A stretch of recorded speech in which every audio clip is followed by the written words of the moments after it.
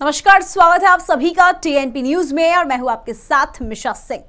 UP के मुख्यमंत्री CM Yogi Adityanath Bareilly पहुँचे। इस दौरान बीजेपी कार्यकर्ताओं ने उनका जोरदार स्वागत किया।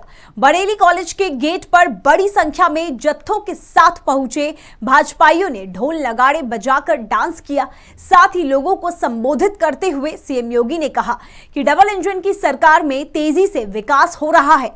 अब उत्तर प्रदेश में विकास की बयार है। उन्होंने आगे कहा कि सरकार की योजनाओं का हर तबके को लाभ मिल रहा है। वहीं उत्तर प्रदेश के मुख्यमंत्री योगी आदित्यनाथ आज शाहजहांपुर पहुँचे, जहाँ सीएम प्रबुद्ध वर्ग सम्मेलन में शामिल हुए।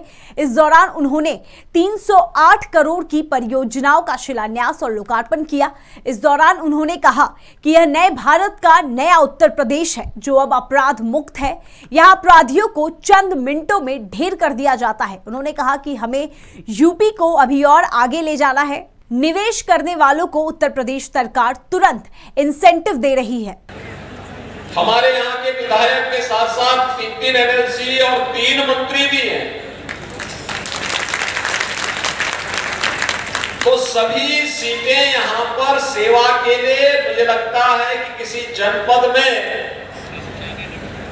जनप्रतिनिधि और राजनीतिक नेतृत्व से इतना समृद्ध हो ये बहुत कम देखने को मिलता है। भाइयों बहनों मैं इस अवसर पर पंडित राम प्रसाद बिस्मिल ठाकुर रोशन सिंह असफाउल्ला खां के इस पावन धरा को जो उनकी जन्म और कर्म भूमि थी इस धरा को नमन करते हुए